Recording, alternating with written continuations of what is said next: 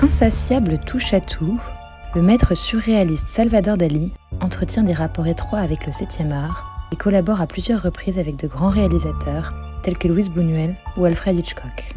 En 1941, Fritz Lang fait appel à Dali pour planter le décor des cauchemars alcoolisés de Jean Gabin dans Moontide, la péniche de l'amour. Avec le départ du réalisateur, l'audace des visions de Dali sera jugée trop subversive. De cette aventure inachevée, ne reste donc que quelques esquisses et notre chef-d'œuvre. La machine à coudre avec parapluie dans un décor surréaliste est une composition puissamment cinématographique où le pinceau caméra étire la profondeur de champ d'une perspective infinie comme une focale prodigieuse.